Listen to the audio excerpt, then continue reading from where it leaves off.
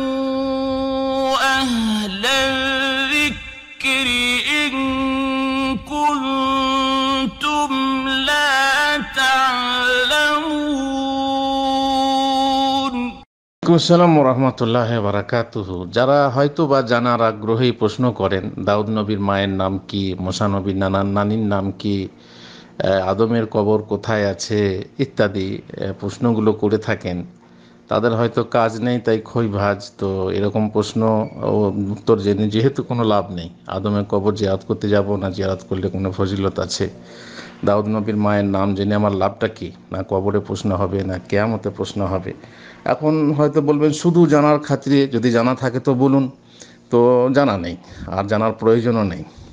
আর এই প্রসঙ্গে আমি কিছু কথা বলে রাখি। যারা প্রশ্ন করতে চাচ্ছেন, প্রশ্ন করছেন তর্ক হলো মজলিসে, হাতে মোবাইল আছে, টিপে দিলেন, লিখে দিলেন, হুজুরকে লিখে দিলেন, বাস প্রশ্ন। ইমাম হাসান বাসি বলেছেন ইমাম নওয়াবি আগে বলি, ইমাম নওয়াবি বলেছেন, যে প্রশ্নকারী আটকানোর জন্য খামোকা প্রশ্ন করে, সে উত্তর পাওয়ার যোগ্য নয়। অবশ্য আমি আপনাকে বলছি না, বা কাউকে নাম ধরে বলছি না, আমি আমভাবেই কথাগুলো বলছি। হাসান বাসরি রহমতুল্লাহ আলহে বলেছেন, আল্লাহ সবচাইতে নিকৃষ্ট বান্ধা তারা যারা অপ্রয়োজনীয় মাসাইল নিয়ে আল্লাহর বান্দাগণকে সংকটে ফেলে। এক ব্যক্তি ইমাম আহমদ বিন হাম্বলকে জিজ্ঞাসা করল, ইয়াজুজ মাজুজ কি মুসলমান? উত্তরে তিনি বললেন, তুমি কি অন্যান্য ইলেম শিখে ফেলেছ যে এই অপ্রয়োজনীয় বিষয়ে প্রশ্ন করছ? আর একজন জিজ্ঞাসা করল, সবজির পানিতে কি উজু হবে? উত্তরে তিনি বললেন, আমি এটা পছন্দ করি না।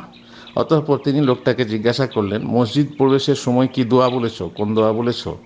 লোকটি চুপ থাকল। তারপর তিনি তাকে বললেন, যাও, এটা শিক্ষা করে এসো। অর্থাৎ যেটা প্রয়োজনীয়, তা আগে শিক্ষা করো। তারপর অপ্রয়োজনীয় বিষয় যদি সময় থাকে, তাহলে তুমি শিখবে।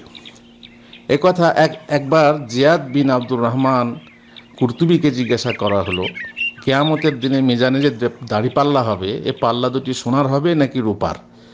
উত্তরে তিনি বললেন, নবী সাল্লাহ সাল্লাম বলেছেন, মিন হুসনি ইসলামিল মার ই তারকুহু মা লা ইয়ানি অর্থাৎ মানুষের ইসলামের সৌন্দর্য, অর্থাৎ তার ভালো মুসলমান, সুন্দর মুসলমান হওয়ার একটি চিহ্ন হলো অনর্থক কথা ও কাজ বর্জন করা। এটা মুসনাদে আহমদ, তিরমিজি তাবানি বাইহাকি ইত্যাদি হাদিসে আছে।